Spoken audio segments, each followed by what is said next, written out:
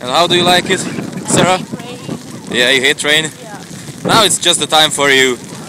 Time.